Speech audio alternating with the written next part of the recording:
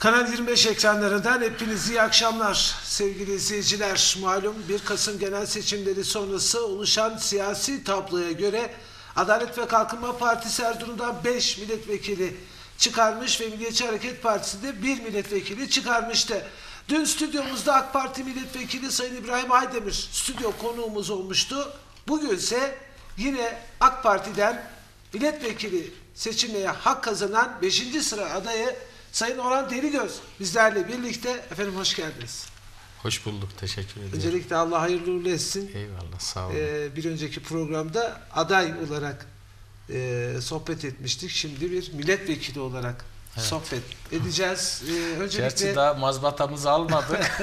Yine milletvekili adayı mı diyelim yoksa? yok e, ha, seçilmişsiniz sonuçta. Eyvallah. Ee, öncelikle duygu ve düşüncelerinizi alalım. Değerli Nazif Bey kardeşim, eee, seçimden 3 gün önce yine misafir etmiştiniz. Kanal 25'e teşekkür ediyorum nezdinizde. O zaman da konuştuk. Ben halkıma güveniyordum. Erzurum seçmenine güveniyordum. Vatandaşın bize omuz vereceğini biliyordum. Bize desteklerini esirgemediler. Sağ olsunlar, var olsunlar. Teşekkür ediyorum bütün Erzurum halkına. Şimdi efendim Orhan Deligöz tabii Ankara'da uzun yıllardan beri görev yapıyor bürokrat olarak. Oradaki sivil toplum örgütleriyle bağınızı hiçbir zaman kesmediniz. Yönetimlerde yer aldınız. Erzurum Spor'da yine Aynen. büyük bir fedakarlık göstererek o riskin altına e, elinizi hatta gövdenizi koydunuz. Dolayısıyla Erzurum'la beraber yaşadınız. Kültürüyle, geçmişiyle, e, özellikle e, sivil toplum örgütü adına malum Ankara'daki ESAV'da yine her, şey, her, e, her şekilde Erzurum'u temsilen güzel çalışmalarınız oldu. E, bir Erzurum milletvekili olmak. Öncelikle buradan başlayalım. Evet. Nasıl bir duygu? Çünkü kendi memleketinden, kendi toprağında, kendi insanıyla iç içe olmak, onlarla yaşamak ve ardından Türkiye Büyük Millet Meclisi'nde bu insanları temsil etmek. Değerli Naci Bey, yani bazı şeyler anlatılmaz yaşanır diye bir söz duymuşuz ya. Yani Erzurum milletvekili olmak da öyle bir şey zannedersem. Müthiş bir duygu. Ee, 81 ilimiz var Türkiye'nin ama bu Erzurum Türkiye'nin diğer illeri gibi değildir. Ülkenin mihenk taşıdır. Doğudaki sınır taşıdır. Dolayısıyla vatanımızın, milletimizin birliğinin, bütünlüğünün teminatıdır. Bölünmez bütünlüğünün teminatıdır. Onun için eee, biz Türk milleti adına Erzurum milletvekili olarak Türkiye Cumhuriyeti eee milletvekilliği yapacağız. Bütün Türkiye'nin vekilliğini yapacağız inşallah. Eee, Erzurum bir ayrıcalıktır. Ben Erzurum sevdalısı bir insanım. Evet. Bunu bütün dostlarım, yakinen tanıyanlar bilirler. İnşallah çok farklı bir eee, şey çizeceğim, milletvekilliği portresi çizeceğim. Evet. Erzurum'umuza başta yani bize böyle dolu dolu oy veren pazar yolumuz, tortumumuz, ispirimiz, Horasan'ımız en başta bunlar olduğu için saydım ve diğer bütün ilçelerimize eee, böyle dolu dolu teşekkür ediyorum. Sağ Evet. olsunlar, var olsunlar. Yani hepsine annelerimize, bacılarımıza, kızlarımıza, kardeşlerimize, büyüklerimize. Ee, biz görüyorduk bunu sahada olduğumuz için anlatmıştım size. Evet. Hatta bir en son cümlelerden birinde bir şey sormuştunuz. Tahmin, Tahmin. diye sormuştunuz. Ben Erzurum'da yüzde yetmişleri aşarız demiştim. Bir puanla yanıldım orada. Ee, Yüzde 69 çıktı. Ee, Yüzde 69 da müthiş bir şey Erzurum. Yani e, Tabii 16 partinin Tabii. seçime girdiği bir yarışta Ee, yüzde Yüzde 69. %52 yüzde 53'ten yüzde Evet. %69'a çıkması müthiş bir e, puan farkı. Türkiye genelinde de yine 47 48 demiştim. Evet. Hatırlıyorum 48 demiştim. Orada da bir puan yanıldık. Birinde bir puan düşük, birinde bir puan yüksek olmuş. Ortalamayı demek tam tutturmuşum. Sağ olsun, var olsunlar. Biz Erzurum halkını e, nasıl söyleyelim pişman etmeyeceğiz. AK Parti'ye oy verdikleri için, AK Parti'yi tek başına iktidara getirdikleri için, e, burada da Türkiye ortalamasının çok daha üzerinde e, AK Parti'ye teveccüh ettikleri için minnettarız. Hamdolsun e, tek başına hükümeti kurduğumuz zaman Erzurum'a vaat etmiş olduğumuz hizmetler böyle sırayla gani gani yağacak inşallah. Evet. Şimdi tabii seçim günü Karayazı'daydınız. Dolayısıyla e, gece de geç döndünüz. E, özellikle saat 16'dan sonra nasıl bir atmosfer yaşandı orada? Değerli Nazi Bey, gözünüzden kaçmamış demek ki. evet. Ben milletvekili arkadaşlarıma bir öneride bulundum. O gün şartlarda aday arkadaşlarıma, Evet. şimdiki vekil kardeşlerime bir öneride bulundum. Toplantı yaptık bir gün önceden. Dedim ki değerli arkadaşlar gelin şu her birimiz bir Güney ilçesine gidelim. Ben Karayazı'yı gönüllü seçtim. Ben Karayazı'da olayım dedim. Kardeşimizin biri Karaçoban'da oldu. Biri Hınıs'ta oldu. Biri Tekman'da oldu. Biri şey Köprüköy'de oldu. Tamam mı? Satma Köprüköy'de. Biz gün boyu erkenden gittik. Bölgelerde sandıkları açtık. Seçim tutanaklarını alıp geri geldik. Yani birincisi bu. Ee, burada neyi kastetmek istiyorum? Bölgeye verdiğimiz önemi. Bu bölgeler bizimdir. Evet. Biz bu bölgenin hakimiyiz. Kimseye bırakacak değiliz. Bu böyle bilinenin, bilinsinin işaretiydi. Evet. Birincisi bu. İkincisi sağ olsunlar ilden, il yönetiminden birkaç arkadaş eşlik ettiler bana. Sabah erken saatlerde Erzurum'dan çıktık. Köprüköy'ün bazı köylerine uğrayarak sandıkları ziyaret ederek her sandık başında beşer onar dakika hem sandık görevlileriyle hem seçmenimizle merhabalaşarak eee, ben o gün 20-25 sandık ziyaret şey özür dilerim köy mahalle ziyaret ettim. Gittim öğlen sonrası Karayazı merkezde e, Yatılı İlköğretim Bölge Okulu'nda İBO'da oyumu kullandım. Oyumu kullanırken küçük bir şey çıktı. E, Karayazı eş belediye başkanı hanımefendi burada kullanamazsın dedi. Ne demek kullanamazsın dedi. Ben milletvekili adayım. İstediğim yerde kullanım. Hayır kullanamazsın dedi. Aç oku dedim şu seçmen şey kitabına. Baktı. Ya özür dilerim haklıymışsın dedi kullanabilirsin. Basının önünde orada reyimi Allah'ın izniyle besmele çekerek Karayazı'da kullandım ben. Bunun bir manası vardı. Niye Karayazı'ya gittiğimi. Ben AK Parti'nin 5. sıra adayıydım. Evet. Partim beni 5. sıraya koydu. 5. sıradaki vekili söke söke al gel dedi. Hamdolsun Rabbime onun inayetiyle Erzurum halkımızın da desteğiyle, öngörüsüyle, ferasetiyle bizi seçtiler. Ee, hemen oy kullandıktan sonra akşam 4'te 5'te çıkıp gelebilirdim. Gelmedim. Evet. Bekledim orada. Gece 10 10 buçuğa kadar bekledim. Sandıklar full tamamlandı. Seçim tutanağı tutuldu. Karayazı'nın AK Parti ilçe başkanlığı önünde muhteşem bir kalabalığa hitap ettik. Karayaz'ın caddelerinde tur attık. Orada da aynı şeyi söyledim. Hem muhtarlarımıza hem Karayazı halkına buradan selam ediyorum. Terörün başını ezeceğiz. Ben bunu seçim günü yaptım orada. Evet. Teröre asla asla taviz vermeyeceğiz. Yine siz mi sormuştunuz buzdolabı meselesini falan? Ben de demiştim Çözüm ki süreci, evet. ee, bu konu kendiliğinden çözülecek. Terör sorunu ortadan kalktığı zaman buzdolabından bir şey kalmayacak. Eriyip yok olup gidecek Allah'ın izniyle. Şimdi Karayazı seçmemin sebebi şuydu. Bayrağı biz orada düşürdük. Erzurum bunu Türkçe Büyük Millet Meclisi'nde temsil edilme hep 5 vekille bazen 6-7 vekille temsil edilmişiz AK Parti Evet. olarak.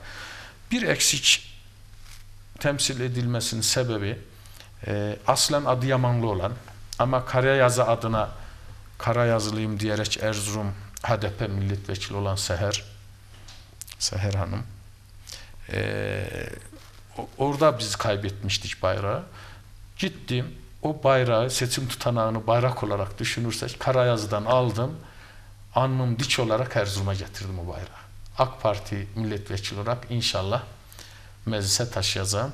Evet. E, alnımıza sürülmüş olan o leçe demek gerekir mi bilmiyorum ama alnımıza sürülmüş olan leçeyi temizlemiş oldum. Halkımızın inayetiyle. Sağ olsunlar, var olsunlar. Teşekkür ediyorum. Evet. Yalnız özür dilerim. Bu önemli bir şey diyeceğim. Yani burada karayazılı vatandaşlarımız asla akıllarından bir şey geçirmesinler. Ben şunu ilan ettim. Hem karayazıda hem de dün baba ocağım olan Narman'a gittim. Muhteşem bir kalabalık karşıladı. Bir de mini bir balkon konuşması yaptım e, Narman'da. Bilmiyorum haberiniz oldu mu? İkinci, Narman'ın ikinci vekili Tabii. olarak tarihe geçeceksiniz. Evet. Ee, İsmail Hakkı Bey'i buradan yad ediyorum.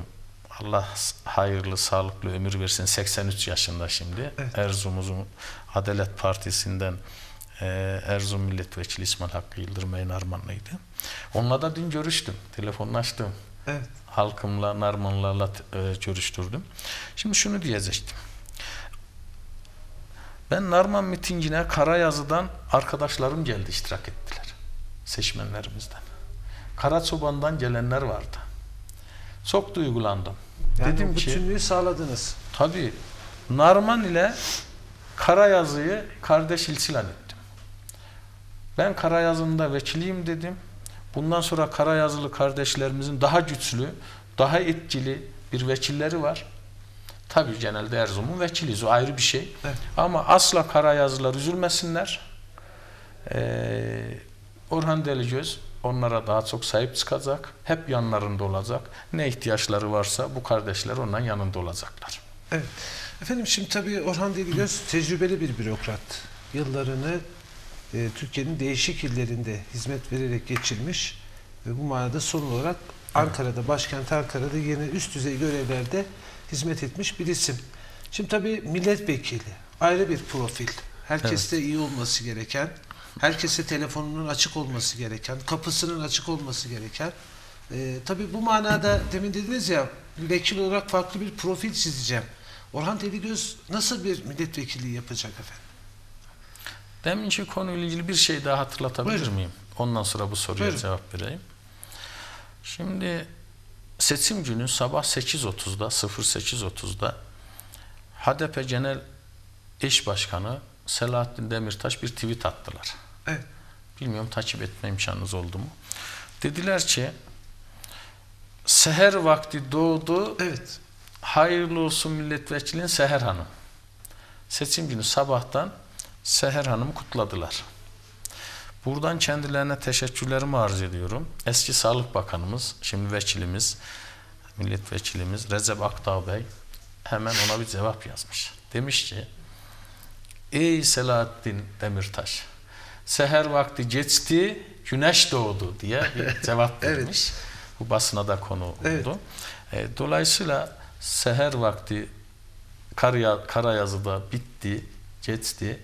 Elhamdülillah güneş doğdu. O güneş olarak kendimi kabul ediyorum. Erzurum halkına güneş gibi doğacağız. Hiç bayram yapmayacağız. Tam sorunun cevabına geliyorum burada. Evet. Asla bir siyasi parti ayrımı yapmayacağız. Ben yine sizin programınızda şunu halkımıza lanse etmiştim. Değerli MHP'li arkadaşlar, değerli, değerli Saadet Partili arkadaşlar, Büyük Birliği Partili arkadaşlarımızdan destek istemiştim. Onlar da bu desteği esirgemediler. AK Parti'mize böyle gani gani oy yağdırdılar, sandıkları do- doldurdular. Onlara da buradan ayrıca teşekkür ediyorum. Ee, bir ayrım yapmayacağız. E, Bütün halkımıza hizmet götüreceğiz.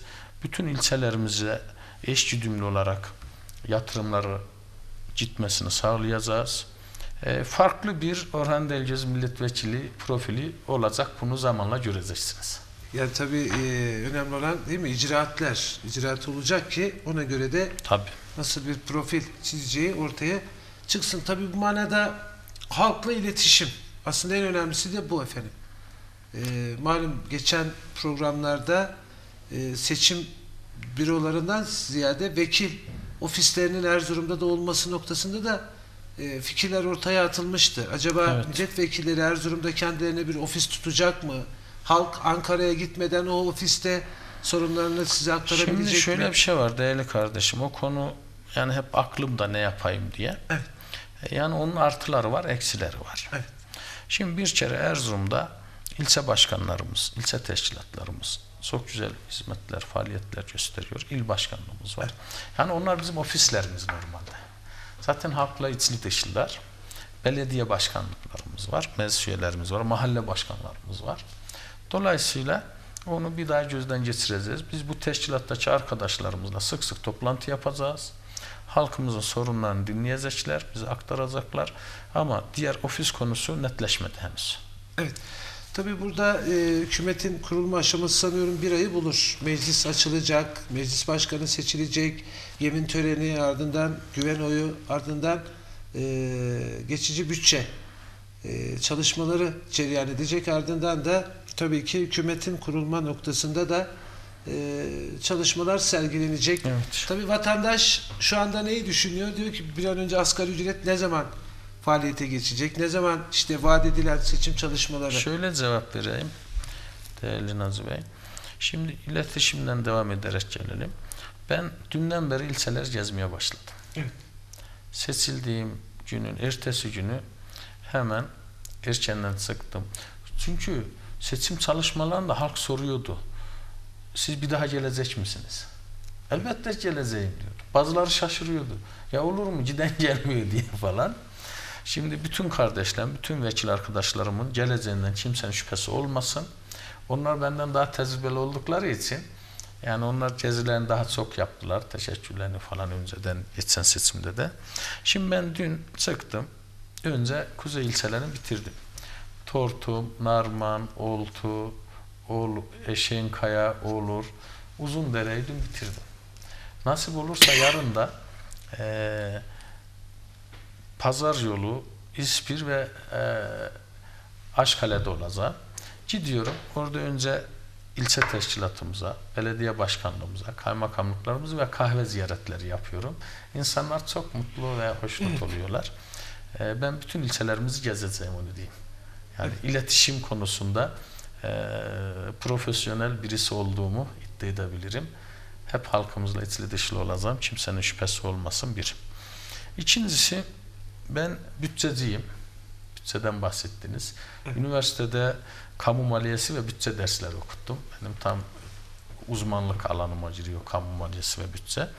Ee, inşallah bütçeyi en kısa zamanda yapacağız. 1 Ocak'tan itibaren yeni, yıl, yeni yılımızın 2016 yılın bütçesi faaliyete geçecek. O bütçeden de inşallah Erzurum nasibini bol bol alacak diye düşünüyorum. Evet. Yeni kabinede e, iki bakanlık Erzurum'a düşer mi? Olabilir mi? Öyle bir tahmininiz E, tabii bunu mi?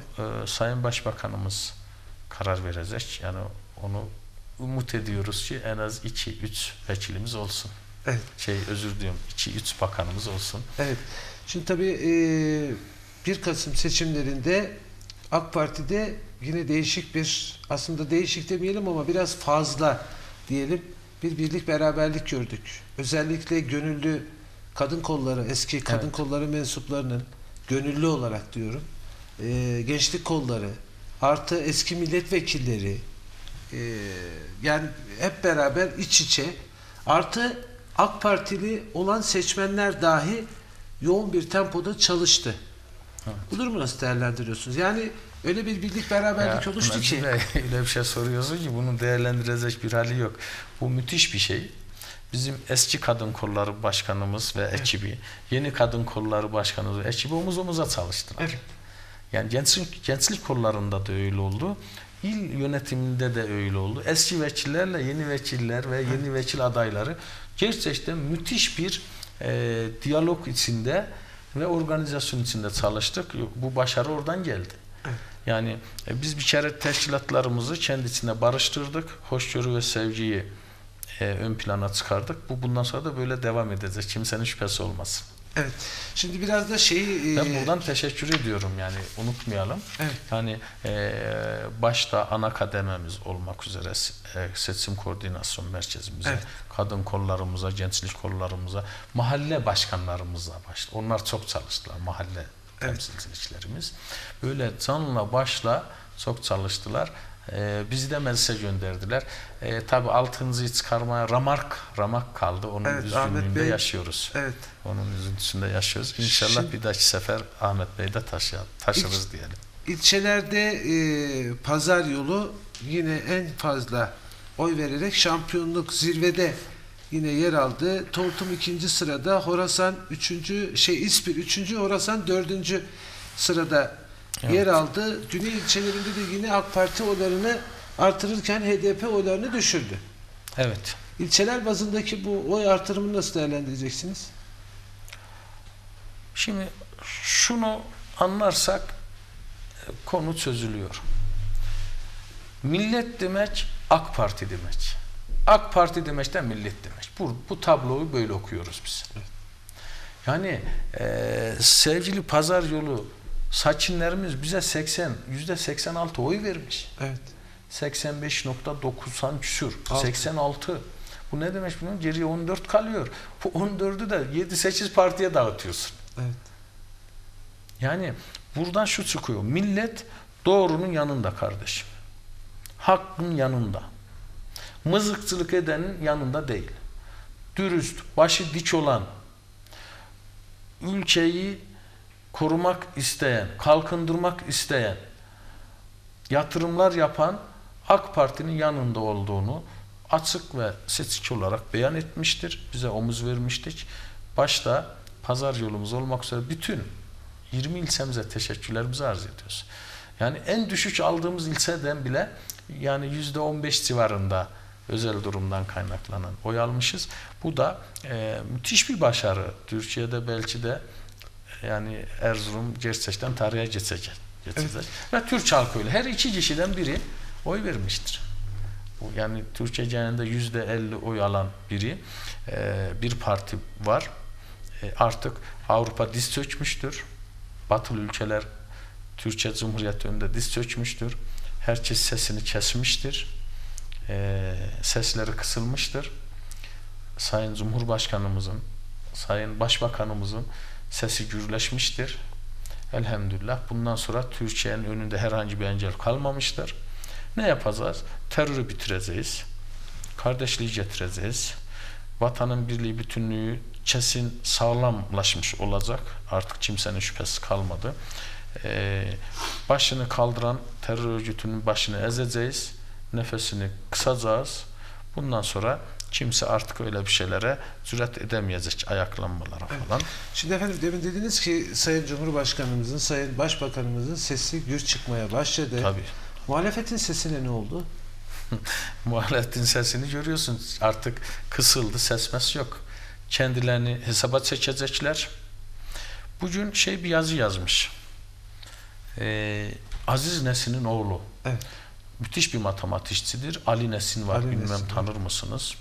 Ali Nesin CHP'li, CHP zihniyetinde bir insandır. Ee, demiş ki, değerli arkadaşlar, her iki kişiden biri AK Parti oy verdi. Bir kendi nefsimizi hesaba çekelim. Biz nerede hata yapıyoruz? Yani şu e, m, bazı e, kırmızı çizgilerimizi e, yeniden gözden geçirmemiz gerekir diye iç eleştiri yapmış, öz eleştiri yapmış. Umuyoruz ki hem CHP'li parti yöneticileri hem MHP'li parti yöneticileri hem Saadet Partili ve Büyük Partili, Büyük Birlik Partili yöneticiler hesaba çekecektirler. AK Parti ne yapıyor? Biz ne yapıyoruz? Niye AK Parti habire yükseliyor? Biz niye habire aşağı düşüyoruz diye kendilerini hesaba çekmeliler. AK Parti'nin izinden devam etmeliler diye düşünüyorum. Evet. Şimdi tabii e, terör konusunda bir sorun mu olacak efendim? Malum vatandaşlar şöyle bir e, kafalarında soru işareti var. Acaba terör politikasında geri adım atılır mı? Yoksa Asla. bu süreç devam edecek mi? Değerli kardeşim, geçen programda da benzer bir soruyu Evet. sordum. Ben açık ve net söyledim cevabımı. Asla geri adım yok. Bitmiştir bu iş. Terör de bitmiştir. Yani 1 Kasım itibariyle terör de bitmiştir. Hamdolsun bugün yine 17-18 teröristi etkisiz hale getirmişiz, yok etmişiz. Bu arada tabii iki şehidimiz var. Allah onları rahmet etsin, yakınlarına sabır versin. İnşallah onların yüzüstü hürmetine hepimiz cennete gidelim diyelim. O şehitlerimizin. Dolayısıyla e, terör artık e, son çırpınışlarını yaşıyor. E, bölgedeki halkımıza da bir güven gelmiştir. devleti yanında görmüştür. Güvenlik güçlerini arkalarında artık hissetmektedirler. E, artık terör kendine başka yuvalar arayacaktır. Türkiye'de yerini edinemeyeceğini anladılar. E, biz de bunun takipçisi olacağız inşallah Erzurum vekili olarak. Bundan sonraki süreç nasıl olacak? Ee, malum tek başına bir iktidar ve sanıyorum bir aksilik olmadığı takdirde 4 yıllık bir de zamanınız olacak. Evet. Yani Türkiye'nin gözü aydın olsun ki 4 yıllık bir artık seçimsiz bir eee, zaman yaşayacak. Evet. 4 yıl seçimsiz bir zaman dilimi içerisinde AK Parti çok büyük işler yapacak. Yani hızlı trenimiz Erzurum'a gelmiş olacak bu 4 yıl içerisinde. Hafif raylı sistem şehir içi faaliyete geçmiş olacak inşallah. İşte Aziziye tabiyaları, Mezzidiye tabiyaları, eee tabiat varlıkları e, parkı olarak, kültürel e, park olarak hizmete girmiş olacak. Tamam mı? E, efendime söyleyeyim. E, kentsel dönüşümden dolayı gece konduların büyük bir kısmı e, modern ev haline çevrilmiş olacak. Modern yaşam olacak. Yine çiftçimizin yüzü gülecek. E, esnafımızın yeniden işlerinin önü açılacak. E, döviz düşecek. E, inşallah e, borsamız yükselecek. Ben borsacıyım. Enerji borsasında Evet. biliyorsunuz Yüreğlim oranın baş ekonomistiyim. Borsa yeniden rayına oturacak. E, Türk halkının yüzü gülecek. 4 yıl içinde artık kimse merak etmesin. Rahat uyku uyusunlar. Rahat uyku uyusunlar. E, yurt dışına kaçan paralar yeniden yurt içine dönecek. Ekonomik bolluk ve refah gelecek. E, inşallah hayvancılığımız, tarımımız e, şaha kalkacak diye düşünüyorum. Şimdi efendim tabii Erzurum'da e, asıl önemli konulardan biri denetim mekanizmasının iyi çalışmaması. Özellikle bürokrasi anlamında e, şu anda büyük bir boşluk yaşanıyor. Bürokrasi bildiğini okuyor. Orhan Deligöz bir bürokrat, vekil. Bürokrattan vekilliğe yükselen bir Orhan Deligöz bu tabloya karşı nasıl bir çalışma sergileyebilir? Erzurum adına iş takibi Değerli noktasında. Nazibe, iki tür bürokrat bürokrat var Türkiye'de. Ben de onlardan biriydim.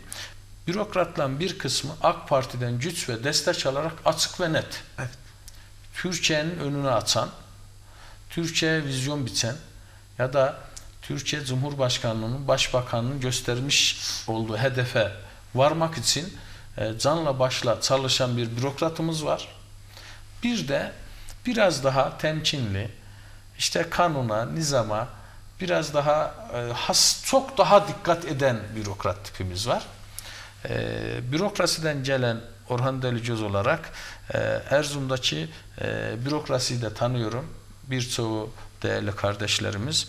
E, bundan sonra daha dikkatli olacaklarını düşünüyorum. Daha atılgan, daha cesur karar verecekler. Halkımızın yanında olacak bütün bürokratlarımız. Evet. İl müdürlerimiz, şef ve amirlerimiz e, tamamı için diyorum. E, Erzurum halkın hizmetindedirler. Hiçbiri bugün git yarın gel demeyecekler.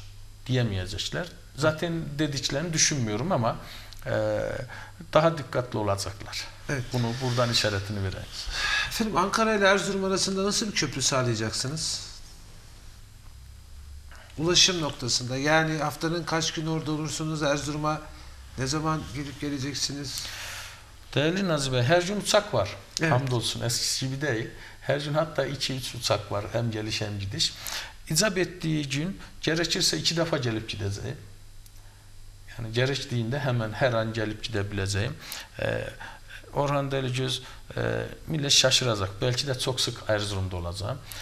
Ee, Ankara'da olmak zorunda olmadığım yani e, bütçe şey komisyonlarda hangi komisyonda görev alacağımı şu Ama anda kestiremiyorum. Ankara'da rahat da bırakmaz oradaki sivil toplum kuruluşları da çünkü onlarla iç içe olduğunuz için. Değerli Nazibe şöyle, ben çok güzel bir sistem kurmayı düşünüyorum. Ben aynı zamanda e, ISO 9001-2008 kalite yönetim sistemi baş denetçisiyim.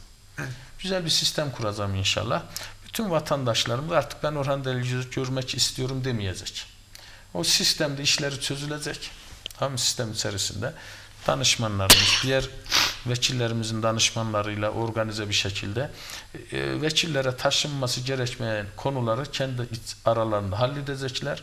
Çok önemli yatırımlarla ilgili, Erzurum geleceğini etkileyen konularla ilgili e, diğer değerli vekillerimizle benden daha tecrübeliler. Onlarla oturup konuşup karara bağlayacağız. Erzurum'a taşıyacağız. Onun için böyle her işe biz koşturmayacağız. Ama her işi çözeceğiz. Yani olması gereken, haklı olan vatandaşımızın hiçbir işi yarım kalmayacak. Her işini çözeceğiz. Ama biz vekiller olarak onlarla zaman kaybetmeyeceğiz. Evet. Böyle bir sistem kuracağız inşallah. Ee, vatandaşın işi de çözülünce ancak bizi kahvede çay içerken görecek, teşekkür edecek. Ben böyle bir profil çizmeyi düşünüyorum inşallah. Vekiller arası dayanışma nasıl olur? Ben birçoğunu tanıyorum. Evet. Ee, bir Zehra Hanım'ı 3 ay önce tanıdım. Daha öncesinden tanımıyordum. Ee, çok değerli bir kardeşimiz Zehra Hanım da. Yani bu seçim sürecinde daha yakın tanıştık. Ee, sağ olsun, var olsun. Çok idealist bir kardeşimiz. Ee, diğerlerin hepsini birebir tanırdım. Yakinen bilirdim. Yani çok uyumlu olacağını düşünüyorum. Gerçekten. Evet. Yani çok değişik fikirler çıkacağını, ara, muhtemelen haftada bir, haftada iki defa belki toplantılar yapacağız. Böyle e, dışarıda yemekli, çaylı, illa meclis şart değil. E, çok güzel bir koordineli e, ekip olduğumuzu, güzel bir çalışma yapacağımızı düşünüyorum. Hepsinde de bu enerjiyi gördüm. En yenileri benim içlerinde. E, nasıl diyeyim? E, gerçekten e, iyi bir ekip olduk. Yani parti büyüklerimiz, Sayın Başbakanımız çok güzel bir dizayn kurmuş diye Evet. düşünüyorum. Yani Sayın Recep Akdağ'ından işte Mustafa Ilıcalı, Zehra Hanım, efendime söyleyeyim İbrahim Aydemir kardeşimizi çok eskiden tanırım. Şimdi ben eklendim onlara. Evet. Ee, muhtemelen belki onlar merak ediyordur. Orhan Bey nasıl olacak bize uyum sağlayacak mı diye. Biz çok uyumlu olacağımızı düşünüyorum. Halkımızın hiç şüphesi olmasın. Ee, bazen ola ki farklı sesler de çıkarsa bu Erzurum'u lehine çıkacaktır. Daha güzel, daha doğru e, karar verme e, aşaması için belki farklı. O da aramızda olacaktır. Yani dışarı yansımayacaktır. Bundan eminim. Doğru karar verilecektir. Hepimiz o doğru karar peşinde yürüyeceğiz. Ben böyle düşünüyorum. Efendim eee tabii önümüzdeki günlerde inşallah nasip olursa yine burada olduğunuzda Her tekrar zaman. sohbet etme imkanı bulursak seviniriz. Son mesajınızı alalım ben izleyicilerimize ardından vedalaşalım. Halkıma teşekkür ediyorum. Gerçekten çok teşekkür ediyorum. İnşallah nasip olursa bu dört yıllık süreç boyunca Erzurum'dan göçün durdurulması için, kardeş ve barışın, huzurun getirilmesi için çaba sarf edeceğiz. Ee, beş milletvekili olarak hatta arzu ettiği takdirde Kamil Bey'i de aramıza almaktan hiç çekinmeyeceğiz. Onu da dışlamayacağız. Bazı şeyleri de onunla konuşarak Bu bir davet mi?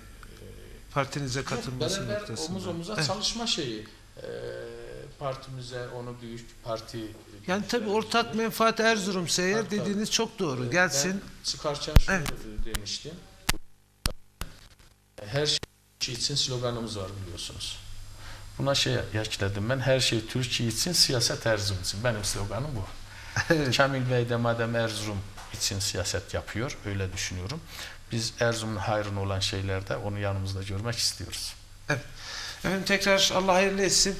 Başarılar diliyoruz. Tabii ki kazanan Türkiye ve Erzurum demiştik her programda. Evet. Rabbim utandırmasın ve Erzurum için de müjdeli haberlerinizi, müjdeli hizmetlerinizi bekliyoruz efendim.